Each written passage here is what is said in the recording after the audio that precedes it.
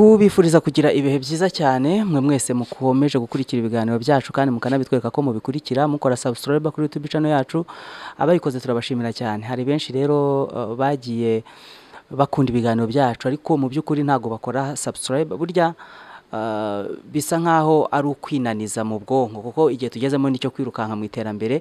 Ni byiza rero gukora gukanda kuri ako kajambo k'umutuku kakaba umukara ugakanda no ku nzogera iruhande rwayo kugira ngo amakuru n'ibiganiro dushyiraho twebwe tukwibutse tukubwire ngo twagishyizeho niba ufite umwanya kirebe hanyuma uh, unagisangiza abandi bagikunde.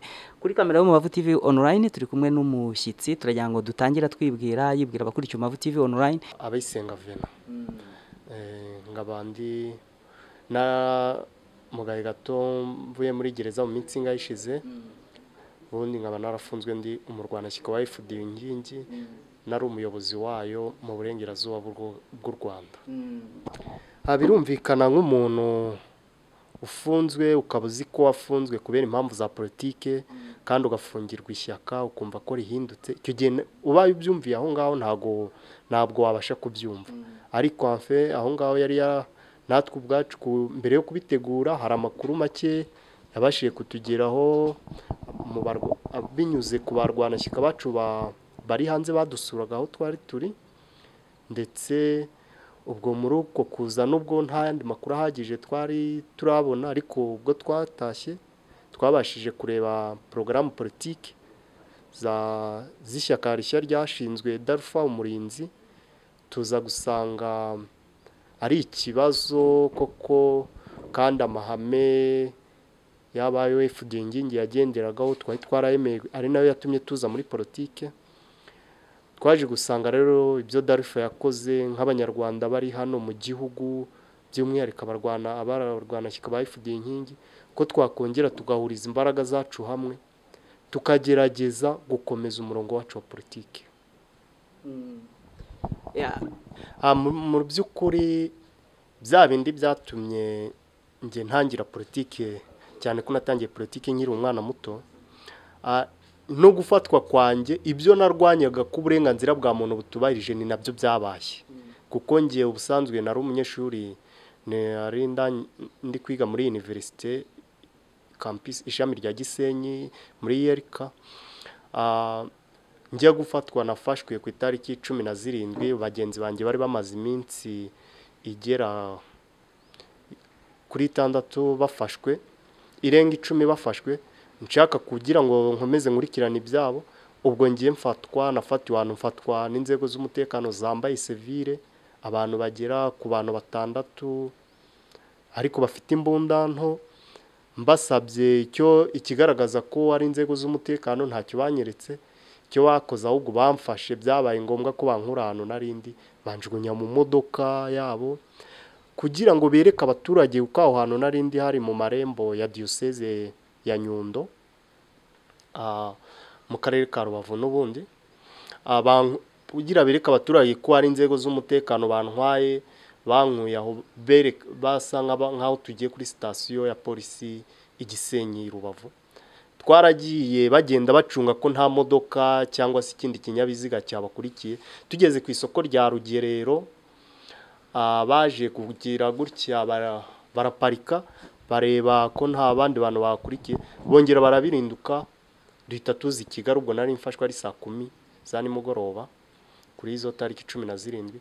Duhita tuzi kigali twageze i kigali tubanza kuzera mu mujyi ariko ubwo bamfutse mu maso ntabwo nzi ahantu undi ariko kubera ko umuhanda nkuzi numvaga ko byanga bikunde inzira turi kujyamo ari iya kigali. Tugeze mu mujyi bawuzereyemo umujyi ntabwo nabashije kumenya ahantu ngeze naje kwireturuva ndahandi hantu ntabashije kumenya.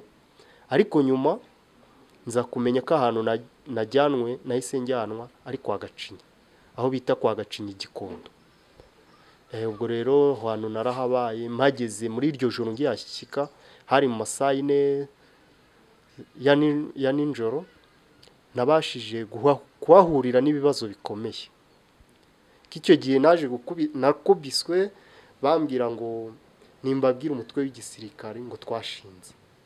Ayo magambo mu kanwa kanjye cyangwa se mu matwi yanjye ni bwo nari nyumvise bwa mbere. Ndababwira ni fdu ntabwo intego yayo ari ugushinga igisirikare. Intego yayo ni uguharanira demokarasi ubutegetsi bwihariwe n'abantu ku giti cyabo cyangwa se butubahiriza amategeko bukemera ko ibyiza by'igihugu. Atari iby'umuntu umwe bigomba gusangirwa n'abanyarwanda bose. Ntabwo babashije kubyemera. Aha nakomeje kuba aho ngaho bankubita bazana imbunda bagiye kundasa. Ibyo ngibyo ntabwo byabaye ku bw'amahirwe. Nza kugira ikibazo cya hemoraji Ah, ni bwo ba- bagabanyije za nkoni bari bankubise ko bankubitaga bakanyinjiza munsi y'ameza ukubita inyuma mu birenge n'undi akubita ndembo mu mutwe. Kuko njye urumva nari narafashwe nyuma kandi abandi bafashwe n'ubundi bari basanze ibyo babarega ntabibaho kuko n'ubundi nta byari bihari. Ubwo ni njye bashakiraga abafashwe nyuma nitwe bashaka gukoreraho iyicarubozo rirenze. Hanyuma y'icyo gihe nabaye mu mapingu mboshye bamukumba kanjye nyina aho hantu ni ahantu hateye ubwoba. Ah, usohoka bagakubita umuntu ukumva nta switi Ah, hanyuma y'iminsi y'igihe kuva kuri izo tariki cumi na zirindwi njye nabonanye n'umugenzacyaha ku itariki ya kabiri y'ukwezi kwa cumi. Narafashwe tariki cumi na zirindwi z'ukwa cyenda bibiri na cumi na karindwi mbonana n'umugenzacyaha ku itariki ebyiri z'ukwa cumi. Nabwo banze ko nunganirwa uwo munsi nabonanye n'umugenzacyaha ni nawo munsi nagiyeho mu bushinjacyaha. Ubwo urumva ibyo bintu ntaho biba. Uretse muri muri iki gihugu ntaho biba nako ni akarengane umunyarwanda wese ashobora kurwanya. Kuko ni ibintu bitum- bitumvikana. Hanyuma y'icyo gihe rero ngifatwa naje kubazwa ibibazo n'umuntu umwe kuko bari bambaye sevire ariko naje kongera kumubona nyuma tujya mu rukiko i Remera i Nyamirambo mu bugenzacyaha nza gusanga mbonye yambaye insanga yitwa Rosayire. Ah, mbaza ibibaza akambaza ni bantu ki baba mu ishyaka ryacu nkabimusobanurira akambaza abayobozi ndabamubwira. Akambaza ngo ese haba ishyaka ryacu kuki ryironda? Mubwira ko ishyaka ritironda kuko ibibazo turiho ntabwo bireba umuntu runaka birareba abanyarwanda bose muri rusange. Ah, nabwo ntabwo icyo gihe babashije kunyurwa muri iyo minsi kuko naje kongera gukubitwa ku itariki icyo gihe cumi na zirindwi. Babonye ingize ibibazo bya hemorrhage ni bwo banditse bangera kunza bambwira ko nanone uwo munsi ban- banyica bazana ishashi bayishyira aho ngaho barambwira ni ushobora kutubwira abantu mwajyanye mu gisirikare. Kukubwira ikintu ari ubwa mbere cyumvise ni ibintu bigoye. Ubwo mbabwira ko ibyo bintu bitabaho banjyana mu cyumba cyanjye Ah, ku itariki ya makumyabiri na gatatu. Z'uku kwezi kwa cyenda ni bwo bagarutse bongera barankubita nanone ariko bashakaga kumbaza mbabwira ko nshaka umwavuka barambwira ntuzigere uva aha ngaha. N'ubundi aha ngaha nta muntu uzi ko tugufite dushobora kukwica nta nkurikizi kubera ko n'ubundi nanjye ibyo byo kwica nari nsanzwe nzi ko muri ubu butegetsi hari abantu benshi bicwa kandi ntibagirwe ntibagikorerwe suivi. Nk'uko n'ubu ngubu bimaze igihe biba ku barwanashyaka ba- bari abarwana- ku barwanashyaka ba FD inkingi mu bihe byashize uko byagenze bagiye bicwa benshi abandi baburirwa irengero. Ariko kubera ko nta numva nta cyaha nishinja ndavani ubwo ni ukunyica kuko uvuze ngo umuntu runaka wa- muntu wamwerekana ukerekana n'aho ari kandi we uwo muntu atabaho. Icyo gihe urumva byaba ari ikibazo gikomeye. Ahubwo ku itariki nanone makumyabiri na zi icyo gihe ku ya makumyabiri na gatatu barabihagaritse nabwo kunkubita bagaruka ku itariki ya makumyabiri na zirindwi z'uko kwezi kwa cyenda. Ah, kurya nararyaga mu biryo bigenewe mu buryo bw'amategeko ubwo umufungwa agomba kubaho bitewe na kondisiyo arimo ariko ibiryo byo barabimba. Kabone n'ubwo nk'ibigori babaga babishyizemo amabuye menshi niba ari uko hari niba barabiyoraga ahantu ibyo ntabwo mbizi cyo kimwe n'igikoma ko isukari bashyiragamo ni umucanga. Ariko ubwo buzima nabubayemo kugeza uyu munsi ndacyariho nizera ko n'ubundi buzabaho ndetse ubuzima bundi bugakomeza. Eh. hanyuma byarangiye gute? Kuba rigeze kuri makumyabiri na karindwi? Ah, nyuma ya makumyabiri na karindwi icyo gihe nabwo bamaze kongera kunkorera rya icarubozo aho ngaho. Mbabwira ko nkeneye umwavoka nanone baravani nta mwavoka tugomba kubazana. Abandi twarabishe. Ubwo bambwiraga uwitwa nsabiyaremye garasiye bakambwira twagira yezu fabien ni umubitsi w'ishyaka.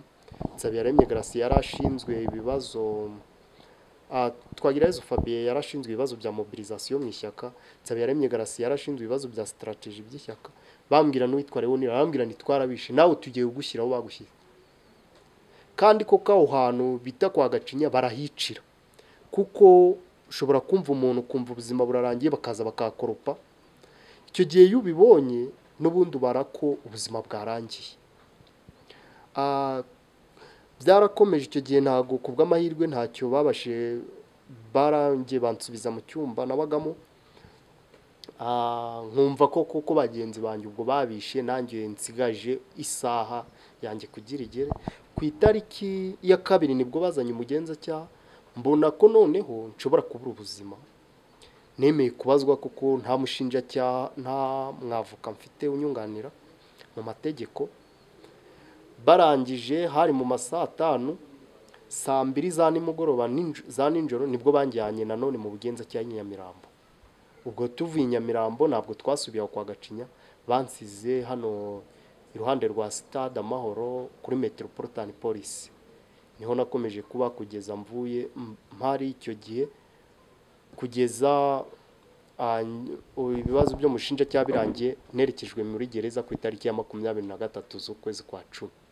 Bo ntabwo natangiye mu mizi urumva twakomeje muri ya minsi bagiye bapororonja kugeza mu kwezi kwa cumi ari kuko ni mu kwa cumi kwa bibiri na cumi n'umunani ni bwo batumenyesheje ko baturegeye urukiko dosiye yashyikirijwe urukiko ariko bagiye bapororonja Ah, aho ngaho ngarutseho gato kugira ngo ubashe kubaho hari ibyo abantu bagiye bemera kubera ari ya torotire bakorewe ariko nta byabayeho kugira ngo abashe kubaho kuko yabonaga n'ubundi ari kwerekeza mu rupfu. Mu by'ukuri icyo gihe ibyo na byo twagiye duhura na byo mu rukiko cyane ko ibyo bintu byose kubikora ba- bagerageza kubikora nta munyamategeko ufite kandi uri muri uri kubona ko uri mu buzima buri muri ya danje yo kuba wabuze ubuzima. Ubwo rero ku itariki ya cumi na kabiri z'ukwezi kwa kabiri bibiri na cumi n'icyenda ni bwo twatangiye urubanza mu mizi kuko mbere yaho babanje kuturegera urukiko rwisumbuye hano rwa nyarugenge hote kuru ariko hote kuru nyuma iza kwiyambura ububasha iza kubyohereza mu rukiko ruburanisha ibyaha byambukiranya imipaka. Ruherereye mu majyepfo y'u rwanda i nyanza. Aha kugeza ubu barahari kuko wari terezereye wungirije yari gasenga herereho nira twari kumwe naje kubabona mu rukiko naje kubabona ngeze muri gereza kuko njye ninjiye muri gereza bo baragezemo. Cyane ko nta wundi muntu nari ntabasha kubonana nawe ni bwo naje kumenya ko bari metero ariko yari yabimbwiye yaje ngiye mu bushinjacyaha kuko banyemereye ko mbonana n'umwavoka aha na twagira yezu fabien nawe naje kumubona nawe yari ahari wari ushinzwe ubukangurambaga muri fd inkingi ndetse na, nsabiyaremye garasi abo bose twaje kubona. Muri icyo gihe ntawaje kubura ubuzima imana yari abarinze eh, bose bari bagihari. Bari mu ma- mu majyepfo y'u rwanda muri gereza ya nyanza imenyerewe cyane ku izina rya mpanga. Ariko amakuru ahari kugeza uyu munsi ni uko twasize uwitwa Herarise Ngabo umuvugizi wa RCS avuga ko bakwitegura ko bazasubizwa muri gereza ya Mageragere. Muri gereza naho ni ibibazo ni ibibazo ntabwo navuga ngo ubuzima buroroshye Ah, kuko ntekereza winjiye muri gereza ari ubwa mbere ni ibintu utabasha kwiyumvisha. Kuko gereza ubuzima bwawe buragoye. Ariko nkanjye nari mpinjiye yari inshuro ya kabiri kuko nari narigeze nanone gufungwa nkiri umunyeshuri ndi mu mwaka wa nyuma ni mu mwaka wa gatandatu w'amashuri yisumbuye Ah, ubwo nafunganwe icyo gihe n'uwari trezoriye w'ishyaka bwana Sibomana Sylvain. Ubu ngubu ufungiye mu karere ka Rubavu. Ah, baturega nabwo ibintu bitabaho Ah, icyo gihe hari muri bibiri na cumi na kabiri Ah, badufungira muri gereza ya muhanga ariko icyo gihe muri iyo gereza ni ho nabashije kubona abantu bakuze kuko nkanjye nari muto ariko icyo gihe ni bwo nabashije kubona ko mu rwanda haba hakirimo abantu bakuze. Abantu bakuze muri iyo myaka bose bibera muri gereza. Ubwo rero ubu ngubu ngeze muri gereza ya mageragere ah, naje kubona n'ubundi ubuzima ari bwa buzima ariko nsanga hari ikindi kintu gishya baforomye muri gereza cyari gitandukanye n'icyo gihe. Ah, kuko iyi- iyicarubozo ryo muri gereza ryarazamutse ku rwego wibaza niba atari planificateur ya leta. Ni if- ifitwemo amaboko akomeye n'inzego zikomeye. Kuko abantu ubu ngubu uribaza niba leta ifunze abenegihugu itekereza ko ari abanyarwanda niba itekereza mu buryo bumwe simbizi. Kuko ubu barafata abantu bari abasirikari bafunzwe bari muri gereza bakabakoramo bambitse ibintu bita ngo ni RP babaremyemo imitwe. Ah, uwo mutwe bita ngo ni ris- research platoon nta kandi kazi kawo. Ni uku- ni ukumugaza no kwica bagenzi babo bafunze. Dutekereza ko abo bantu bitwa ba RP hashobora kuba harimo bamwe mu nzego za leta bazana ba- ngo barafunze ariko bari mu kazi kugeza uyu munsi. Kuko nibo bagira uruhare mu mpfu ziba mu magereza mu gukubita abantu no kubamugaza kugira ngo ubuzima bwabo burangire aho ngaho. Abo bantu bafata abo bantu bari abasirikari bagashyiramo n'ababana bishwe n'ibiyobyabwenge bamwe bagiye bajyana iwabo bakavaho ibiyobyabwenge byararangije kubangiza n'ubundi bakagaruka muri gereza. Ah, ugasanga nibo barimo nta wundi mwuga bakora. Aho hari ibintu ngo ngo ni najya mbona abapolisi bitaga ndembo ubu ngubu zifitwe n'abo ba RP muri gereza. N'umuyobozi wa gereza kuko umuyobozi wa gereza afashe icyemezo cy'uko ibyo bintu bihagarara ntabwo byaba. Ni umuyobozi wa gereza n'ushinzwe n'ushinzwe eh, maneko kuri gereza ari we ayo. Nibo bantu baba bahagaze muri bahagarariye izo nzego. Ariko na zo zika- zikagira ziba zihari ndetse na ya sekiriti ishinzwe umutekano w'abafungwa mu gipangu nk'ibisanzwe na yo iba ihari. Ariko izo nzego zo ziba zifite ijambo ku buryo iyo sekiriti idashobora kugira icyo ikora niba baje kugutwara ubwo ni uko bigenda. Nk'ubu ngubu nkatwe duhari twageze i mageragere bakavuga ngo watembera kandi abandi barimo baratembera bakavuga ngo ushaka gutoroka Ah, wagira radiyo bakavuga ngo radiyo ufite ngo ni telefone. Icyo gihe ibyo ngibyo urabikubitirwa kugeza ugiye kubura ubuzima. Nk'aho bamwe muri twe wari ushinzwe mobilizasiyo bwana twa Girayezu Fabien yaje guhura n'ibyo bibazo arakubitwa ndetse umubiri wose uza ugira ikibazo cyo kuvundira amaraso byabaye ngombwa ko bamushyira mu kasho kugira ngo abarimo akurikiranirwa ahabwe ubuvuzi. Nabwo bari babanje kwanga kumuvura. Komiseri ni we waje yemera ko bazana umuganga. Icyo gihe cyakora bamuha imiti aba n'aho ngaho ubuzima buza gukomeza inkoni ziraza ziroroha birarangira ubuzima bundi burakomeza. Ahantu kuvuga ngo ibyaha twari dukurikiranweho ah, baturiga gushinga umutwe w'ingabo kugira nabi ubutegetsi buriho no gukorana n'imitwe y'iterabwoba.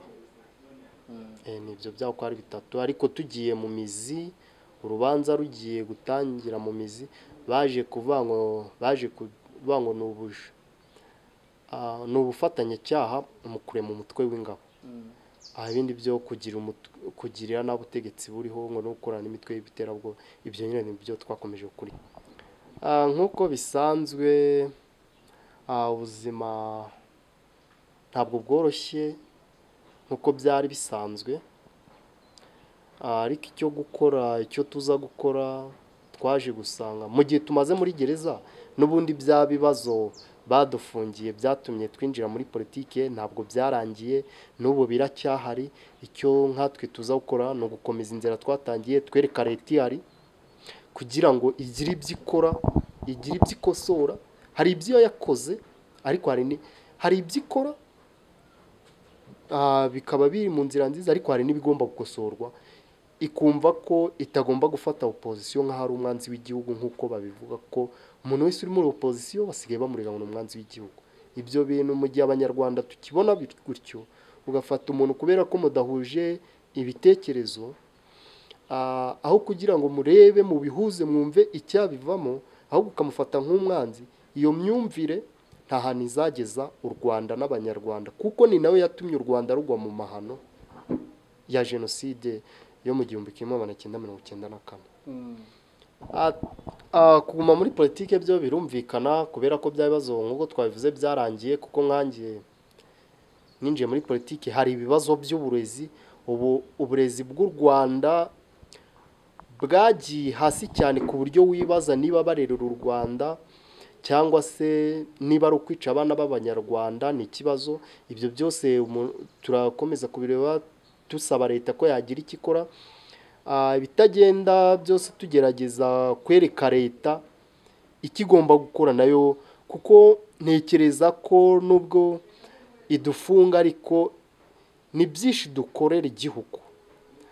Ah, ni byinshi tuvuga abanyarwanda niba uri umuyobozi ukaba udasura ibigo by'amashuri ngo umenye ko cyangwa ukore evaluation mu bana barangije. Ah, wubake za nayini urebe umwana azarangiza.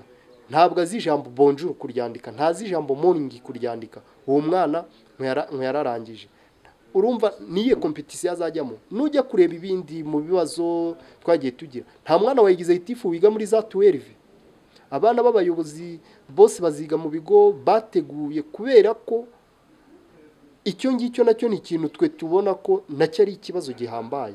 Leta yaba ifitemo uruhare cyangwa inyungu zo gufata abana benshi b'abanyarwanda ikabashyira ikabaha uburezi budafite ireme.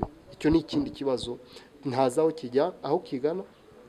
Gutekereza ko umujyi wa kigali uzabamo ba bantu bafite ubushobozi bagasenyera abandi. Ibyo ngibyo nkanjye ndetse n'ishyaka mbamo ubu ngubu darifa umurinzi ntabwo ibyo bintu tubyemera. Niba basenya umuntu ah, kuko kuba mu kajagari natwe ntabwo tubishyigikiye abantu bagomba gutura mu buryo bukurikije amategeko ariko ntibamenye ko ari umunyarwanda bamenye n'aho bagomba kumushyira. Ah, tukazakomeza no gusaba ko uburenganzira bwa muntu bwakubahirizwa. Niba abantu bicwa urugero nka turafite abantu bishwe niba abantu bishwe hakurikiranwa ababishwe kuki umuntu afatwa n'inzego z'umutekano akaburirwa irengero aje akaboneka ari umurambo? Aho ndavuga nka mutuyimana serime yakuwe ah, muri gare ya mahoko mu karere ka rubavu mu murenge wa kanama. Yarishwe kandi hakuwe n'inzego z'umutekano z'iperereza. Harimo n'abambaye imyenda y'akazi ya polisi. Ubu kugeza ubu ngubu nta suite mu minsi mike maze hanze maze kubona ko ntacyo babikozeho. Ah, twagirimana boniface yashimutiwe muri gereza ya nyanza. Yashimuswe n'inzego za leta zibifitiye uburenganzira ubushobozi kuko yakuwemo n'imodoka ya gisirikare. Kugeza uyu munsi leta y'u rwanda yaba imufite ari muzima yaba imufite ari umurambo ariko izi neza aho ari yaba yarapfuye bazi neza aho bamushyinguye yaba ari muzima bazi neza aho ari. Barahimba ikintu ngo yaracitse. Ntabwo byashoboka kuko bamanje gufata umuntu ah, witwa murenzi wari umusirikare n'ubundi akora mu nzego z'iperereza. Bamu- twagirimana boniface bamugejeje i nyanza ntibamushyira hamwe n'abandi bafungwa bamujyana mu nzu. Iyo nyubako bamushyizemo yabagamo mushayidi dewo ni ho yabaga bari bamaze kumuzana i kigali. Ah, na dogiteri nitegeka bari bamaze kumujyana i rubavu niyo bajyanyemo twagirimana boniface yari muri izorema bajyanamo uwo muntu ah, witwa murenzi kuko bari bamaze kumutegura. Niwe babajyananye ariko uwo murenzi ntabwo we yari misiyo. Niba baramukuye bamwishe ibyo ntabwo tubizi. Niba baramukuye bari bamujyanye kugira asaba amuhe ibimusinziriza bamutware ntabwo tubizi. Kuko yabaga muri gereza hamwe n'abandi bafungwa mu myaka yose yari amaze yageraga mu gihe ki- kirenze imyaka icumi. Ariko uwo munsi bari bujyane boniface bamujyana aho hantu. Ubwo urumva n'uyu munsi ntabwo tuzahwema gusaba leta ko yamugaragaza cyangwa se ikagaragaza abamukuye muri gereza. Eh, ubwo rero ibyo ni ibibazo. N'abandi banyarwanda bagenda bicwa hirya no hino cyangwa baburirwa irengero. Ibyo ngibyo ntabwo abanyarwanda cyangwa umuntu wese utekereza wuzuye w'umunyarwanda muzima ukunda igihugu n'abanyarwanda ntabwo ibyo bintu akomeza ash- ashobora kwemera kubishyigikira. Aha niyo mpamvu mu gihe ibyo bibazo bigihari ntabwo ushobora kwemera ko kureka politiki. Ibyo bibazo nibikemuka. Abaturage bakaryama neza abaturage bakiga. Ah, akarengane kagahagarara. Njye ntabwo ikinjyanye muri politiki ntabwo ari ukuvuga ngo intego nyamukuru ngo yenda ngamije kuzayobora cyangwa kumuyobozi. Ah ah ni uko ibibazo byose birangira tukagira uburenganzira bumwe bungana nk'abanyarwanda. Ah, ibibazo twiteguye guhangana na byo kuko icyo nemera ko kandi nizera ni uko guverinoma y'u rwanda iyobowe na nyakubahwa paul kagame izagera ikumva ko abanyarwanda twese tugomba kuba mu gihugu kimwe dufite uburenganzira ndetse no- kwisanzura. Umuntu- ukora icyo akora akagikora yu- ati- atikeka umuntu kuko ubu ngubu umuyobozi arikanga umuntu. Arabona umuturage akamugirira ubwoba yamugira ubwoba akaba aramushimuse. Umuturage nawe arabona umu- umuyobozi agatekereza ko umuyobozi hari ikibi yamukorera. Ibyo byose rero ah, twe turatekereza ko bizarangira kandi na leta na yo ikazabihagarika ndetse tugasaba n'ubutegetsi ko bugomba kubahiriza amahame ya demokarasi ko kugeza ubu mu rwanda sinzi niba abayobozi badasubiza amaso inyuma kugira ngo barebe u rwanda aho ruvuye n'aho rugeze icyatumye rugira ahantu rujya ni- ni- ni- n'icyatumye rugira ahantu rujya ni ukubera ya demokarasi demokarasi yaho nyanza ubundi niba twese turi abanyarwanda tugomba kubaha itegeko nshinga ry'u rwanda rya repubulika y'u rwanda. Niba tutaryubashye iteka ryose tutaryubashye bizagira ingaruka ku mibereho myiza y'abanyarwanda. Aha ijambo rya nyuma ah, nasaba leta y'u rwanda kumva ko igomba kwemera amashyaka ya politike igafungura urubuga rwa politiki igafungura urubuga rw'itangazamakuru kuko ari ryo jisho rya ruba- rya rubanda ndetse igaha uburenganzira umwenegihugu nta vangura nta cyene wabo ntatonesha iryo ari ryo ryose. Abanyarwanda bagasangira ibyiza by'igihu- by'igihugu.